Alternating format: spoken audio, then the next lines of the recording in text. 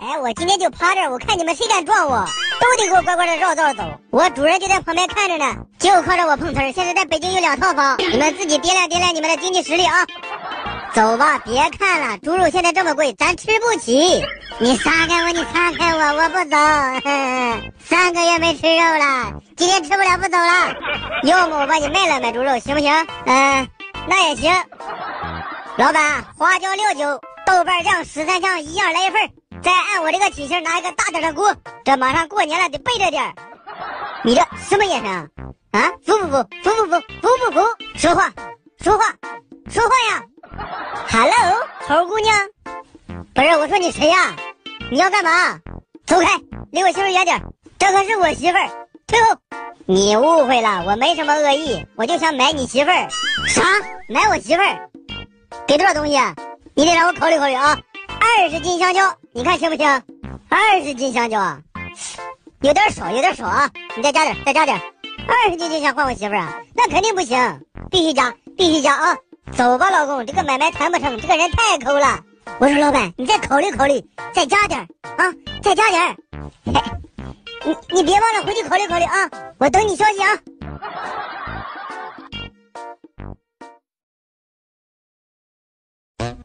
中华的叫华子，抽玉溪的叫西子，抽利群的叫裙子，那抽这个的叫什么呀？嗯。哎，老李头，吊着呢。哎呀，今天不行啊，就钓这一点啊，这么小的你也钓，还不够塞牙缝的呢。哎，你自己留着吃。让你去老李头那拿鱼，鱼呢？你是不是半道是了？媳妇儿，你听我解释呀。老李头那鱼，哎呀，在上嘴呀！哎呀，媳妇儿说上嘴就上嘴，咬死我了！你瞅啥单身狗？有些事儿你不懂。哎呀我去！有暗器，用九宫格打出周一，然后一直打下去，就会知道你周一要去干什么了。嗯，还有脸睡觉？你给我起来，干啥呀？还干啥？你自己好好想想，你昨天又干啥了？没干啥呀？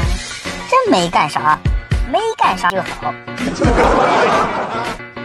这个玩套圈游戏就要像我这玩。不能精准打击，就要火力覆盖。好家伙，马云都不敢这么玩。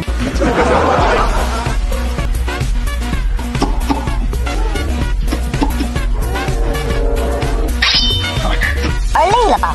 来来，润润嗓子，我孝顺不？来来来，听我指挥。行，哎，再往前点。哎，好嘞。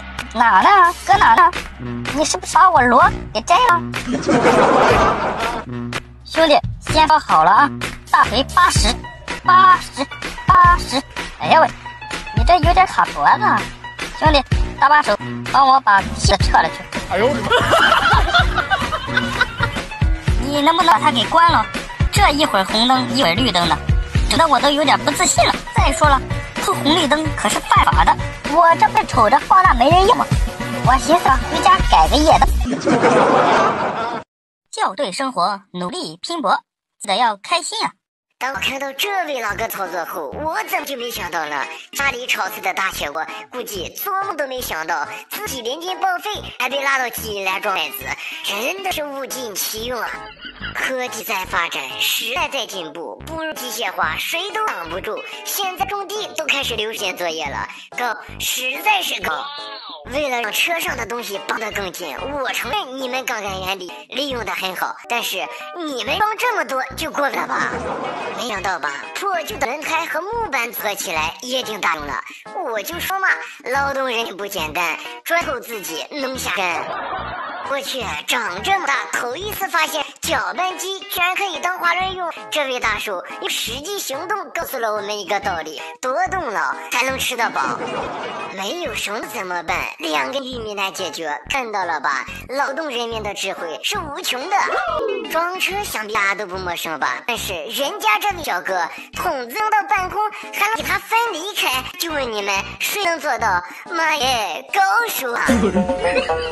这个博主只因喜欢黑丝，竟然穿着黑丝用脚给枪上膛。对此，博主并不满足，直接把上膛的动作复刻进了游戏里，左脚换弹夹拉枪栓，右脚扣动扳机射击敌人，简直丝滑的一批。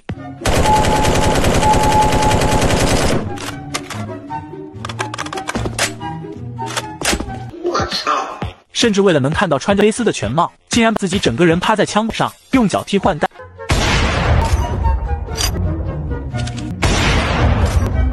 嚯！当换上官枪时，直接坐枪上，用脚摆放好弹链，双脚交替，快向枪管，火力十足凶猛。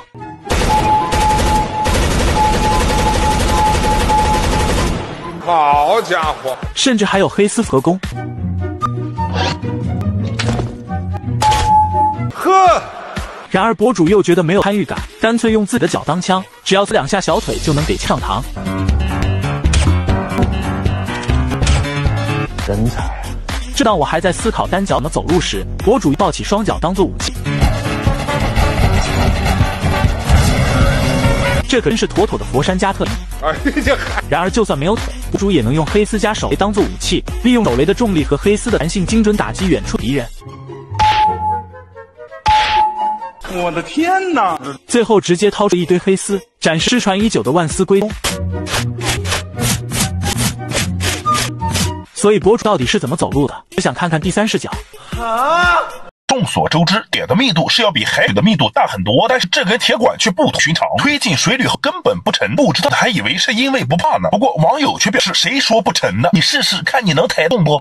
注意看，这些印度民众吃饱了撑的没事干，正在打砸中国制造产品。虽然都是他自己花钱买的，但是看完以后还是让人很气愤。有比较冲动的网友表示：“我看了以后确实很气愤，在家里找了半天也找到印度产的东西。”近日，一位面点老师傅正教大家如何包包。一块手指大小的面团竟然可以装那么多馅子，就很离谱。一般人包个虾仁都费劲。网友表示：“我明天搬家，你带俩剂子来给我绑。”有道理。近日，某地博物馆里展示了一条美人鱼，长相怪异。这哪是美人鱼啊？这明明是哥斯拉，啤酒肚都快赶上我二大爷的了。网友表示：“应该是在广西喝醉了，被抓博物馆里了。”我信你个鬼！注意看，这位老父亲正在给女儿称体重，不过怎么看怎么像是在称猪肉。不知道的还以为这是家里客人要拿姑娘酒呢。网友表示，果然彩礼都是按斤称的。我信你个鬼！万万没想到，南北女生差距居然可以这么大。南方妹子还没开口，乖巧的形象就已经萌爆无数网友，而女生宿舍阿萨阿萨的美气息，更迷的东北网友都找不到北了。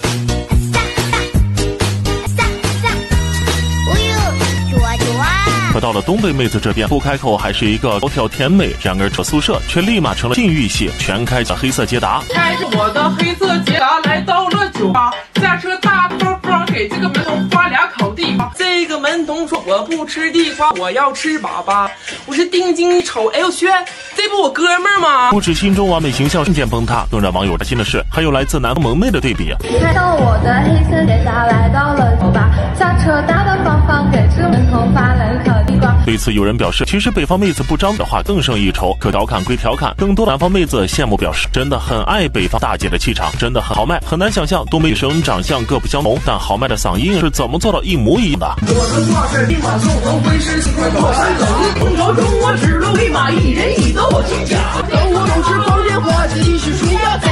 更离谱的是，居然称这叫儿歌。东北的山，东北的河，东北的铁锅炖大鹅，东北的小鸡炖野蘑是小麦裹着我就是壳。怪不得东北人不知性，原来人家打小就是练出了全明星。然而谁都没有想到，就在大伙为南北妹子吵翻了的时候，有人表示西南拒绝参与讨论，而给出的解释让所有人绷不住了。开着黑色捷达的阿萨阿萨自行脑补吧。